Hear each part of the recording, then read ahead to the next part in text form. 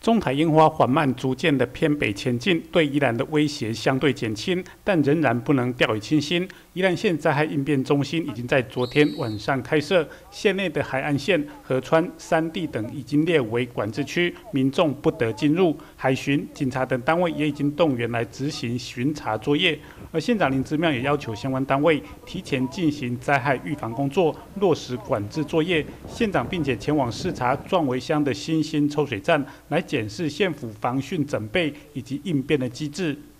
啊，那樱花台风呢即将来袭啊，所以呢，我们水资处处长啊带领着这工作团队啊，来对我们这边啊这个抽水站的视察。啊，宜兰县呢，总共哈公所啊，县府总共有十九座的这个呃抽水站。那我们呢，事先来视察啊，希望呢啊发挥了它的功能啊，所以也希望民众呢啊这个呃台风来袭的时候，要先做好准备防台的工作啊，保护了这个啊我们的这个所有的啊家人。而且呢啊，宜兰县政府呢跟各位一起努力，希望呢这次的这个呃台风呢能够呢啊大家都能够安全哈啊，所以呢啊对这个车子上的视察呢啊就是希望大家能够啊就是平安。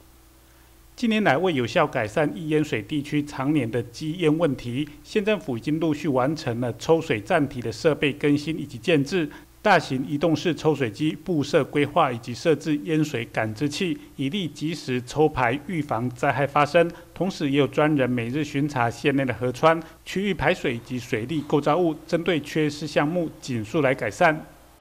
所有的四十六台的大型的移动式抽水机啊，都已经啊预布完成。那另外啊，县管家啊，乡镇公所管理的抽水站，总共二十六座的抽水站。那也都啊测试啊正常。那除此之外，在雨水下水道的部分，乡镇公所也在平时啊都已经做好该呃例行性的清淤啊跟管理，也做得相当的一个呃完备。那最后在土石流的部分，那也做好了相关的土石流的啊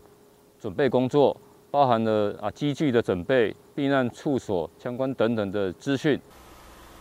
县长提醒各单位及早防备，把可能的灾害降到最低，并提醒民众除了防疫之外，也不忘防灾，期盼能够携手合作，顺利度过各项的挑战。宜兰新闻记者石世明采访报道。